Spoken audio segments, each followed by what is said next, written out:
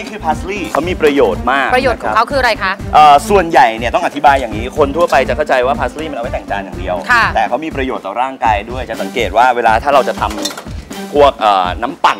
นะครับค่ะสมูทตี้เนี่ยเขาจะมีการถ้าเขาต้องการจะเพิ่มคุณค่าเขาจะใส่ตัวเนี้ยเข้าไปด้วย อ๋อมีน้ำกลิ่นปั่นมีรสชาติของผัก นะครับเจ้าตัวพาสลีย์นี่จะอุดมไปด้วยสารเอ่ออาหารประเภทวิตามินนะครับโดยเฉพาะวิตามินซีนะครับและเบต้าแคโรทีนนะครับค่ะฉะนั้นแล้วเนี่ยจะเสริมสร้างภูมิคุ้มกันได้ดีเลย